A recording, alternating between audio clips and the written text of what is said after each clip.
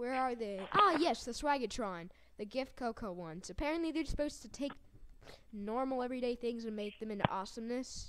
Oh, Cocoa's probably gonna throw me in there. That won't be good. Okay, I'll I'll make sure he doesn't. I'll make sure he doesn't.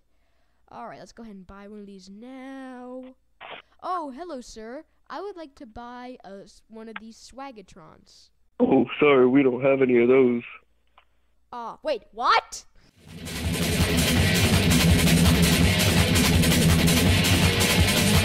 To talk to your manager.